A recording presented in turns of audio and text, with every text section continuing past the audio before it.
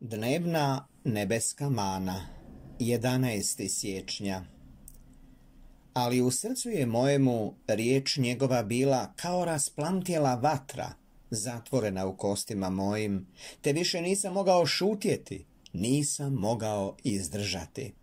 Jeremija 20, redak 9. Komentar Neka bismo mi, koji smo imali tu prednost da ostanemo do ovog vremena milosti, blagoslova i prosvjetljenja, dali slavu gospodinu i gledali da se u nama očituje Ivanov stav pun ljubavi i također njegova snaga, njegova revnost.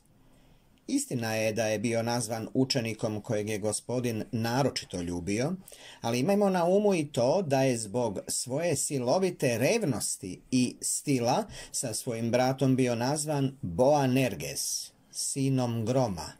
Budimo i mi svi puni snage, puni odricanja ako je ljubav traži, kako bismo mogli slaviti gospodina i našim tijelima i duhom koji su njegovi. Ponovno čitamo tekst.